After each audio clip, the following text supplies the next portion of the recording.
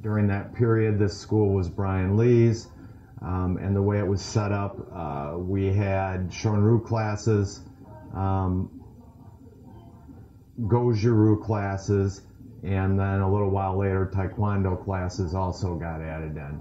Um, this school has been responsible for a lot of a lot of different people teaching over the years. Uh, instructors that have gone through this school: Jim McEwen, Bill Maddox, Tom Engelbretson, uh, Mike Griffin, Tom Callis, Blaine Fine, Rick Heath, Larry Johnson. You know, I probably I, it's it's way way too many for me to even remember.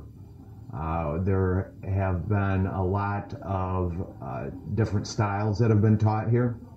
And also, we have had, uh, in addition to uh, regular traditional martial arts programs, we've had uh, boxing, Dan Lahiff, um, uh, Bill Chrisman. several other people used to have boxing programs that we ran out of here, and kickboxing. Um, the school, uh, when it was Brian Lee's, had some of the very, very first kickboxing in the United States as far as the old PK full contact karate type of kickboxing. Uh, Kerry Roop's first fight was here.